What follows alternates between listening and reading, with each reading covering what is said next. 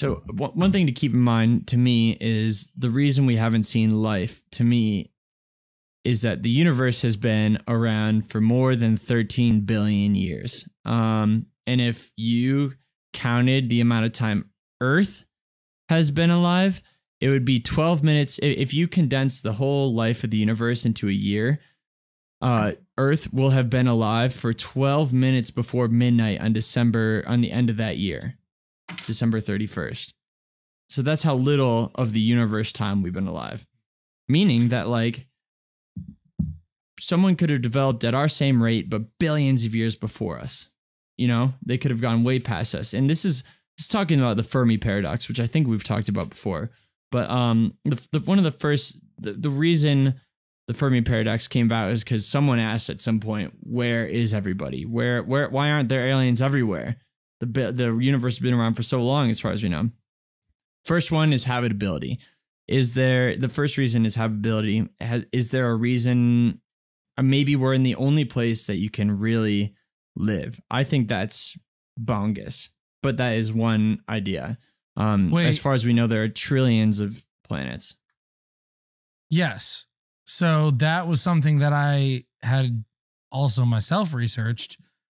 We thought that it was extremely unlikely that there was another planet in this Goldilocks zone that we were close enough to a sun that could melt water, but not so close that it would evaporate the water. Because we assume that life um, r- requires water.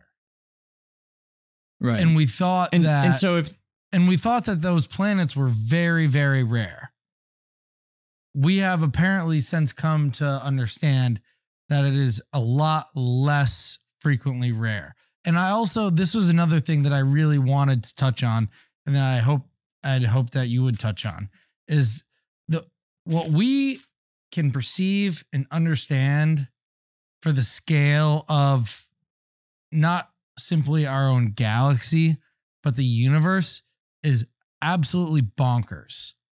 Like, even if it's rare that our planet is the only planet that lies in this Goldilocks zone, which isn't true, it's actually fairly common.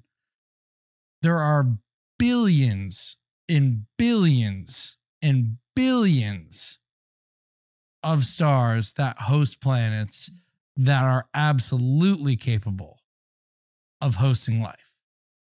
And to think yeah, I mean, that our planet is the only planet that evolved life, intelligent life, maybe, you know, that too, we can get that in the debate, is incredibly arrogant. Yeah, no, I agree. So that's the first one. That's just the number one where we say there's no ha- habitability, if that's the right way to say it. Um, but yeah, I agree with you, Cheek. Statistically, I think there was something that said something about the Milky Way gal- galaxy.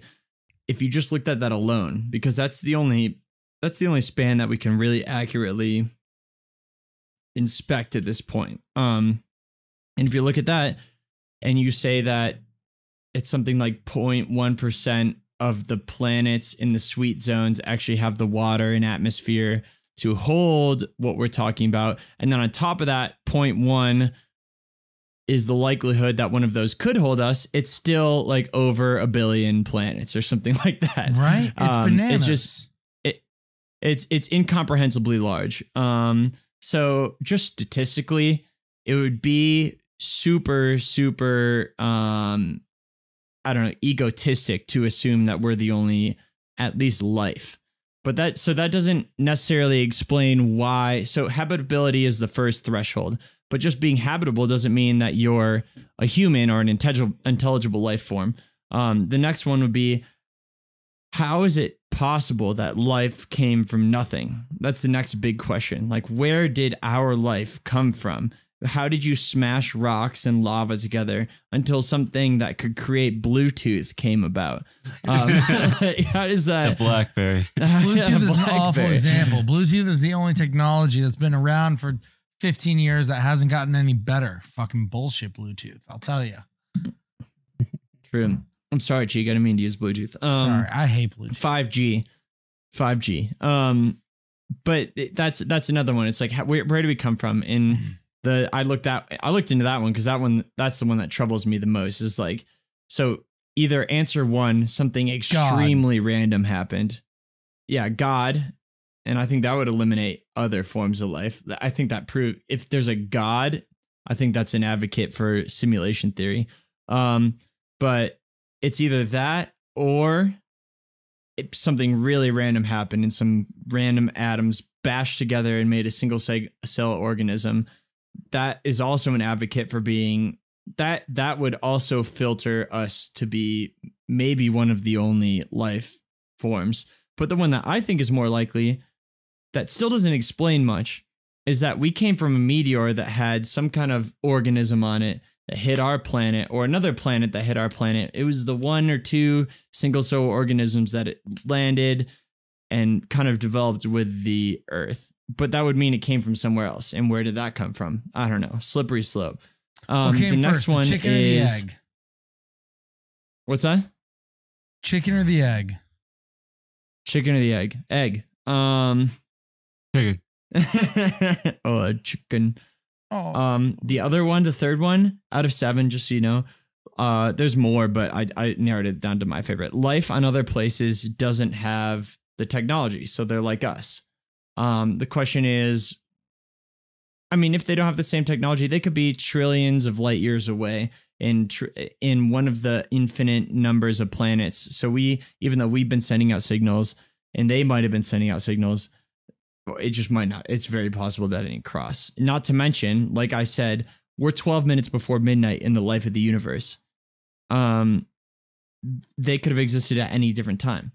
Um, the other, the next one is maybe they explored a time way before us, or they developed technology to sense that we're here, or anything like that, and they don't want to be found. And maybe their technological advancements didn't lead them to being like, oh, we want to go find other planets.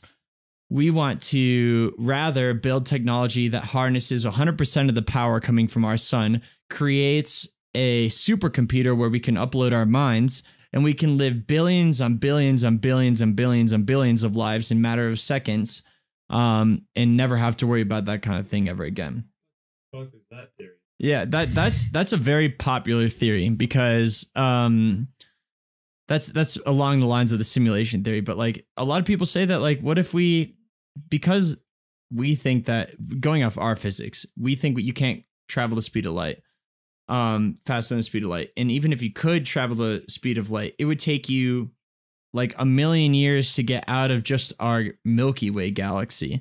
And so maybe that becomes an unachievable dream. And instead, you want to harness all the power of your sun and do everything that we don't know the bounds of technology. And so you want to do everything the bounds of technology can handle.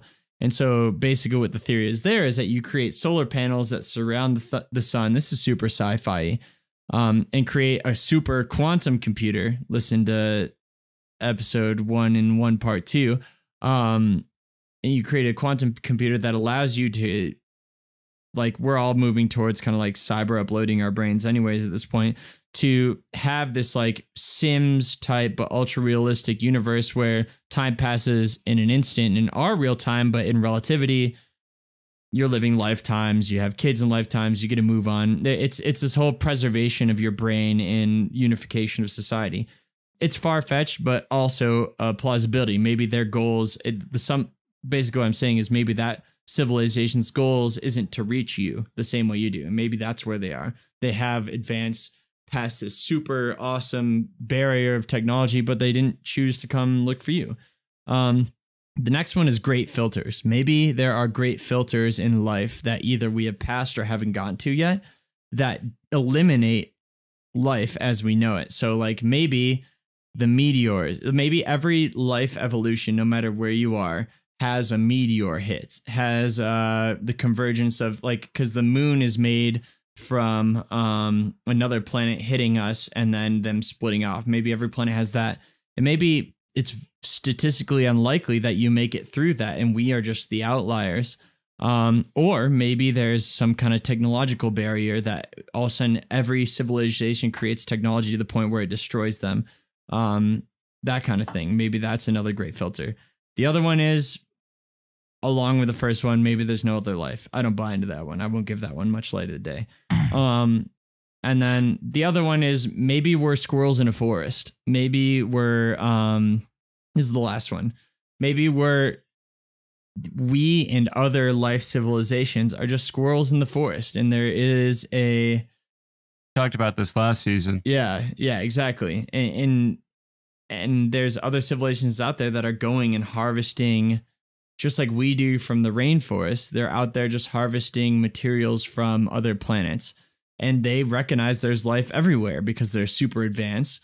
But they're saying, oh, look at these cute little squirrels in the forest, eh, mow down the trees. And then later, like, oh, maybe that affected those humans and now they're dead. But um, they're not here for us. They're here for our resources. They drain our oceans to easily access what's below them and things like that. So that's the scariest one to me, but that's also to me what's most likely because if anything was going to colonize us, it's probably this like self-replicating army of robots that comes and autonomously collects all our shit because you can't send humans that far into time. Like so I'm assuming there's a lot of life that can't make it that long. So I don't know.